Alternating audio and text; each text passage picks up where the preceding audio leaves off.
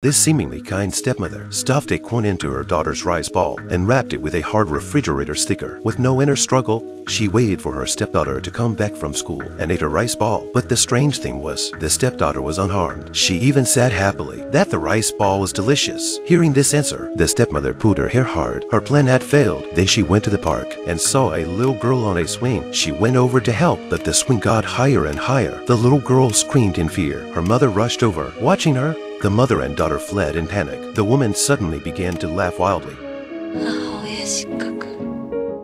As if she was crazy, she came to the railroad tracks. Without thinking, she lay down on it. What happened? What happened to the woman? The woman's name was Anna. She lived in a poor family. The family of her was living in one room. The father was sick. My sister dropped out of school because they couldn't afford to pay tuition. That night, the family's bicycle store caught fire. All the belongings were burned to the ground. Even worse,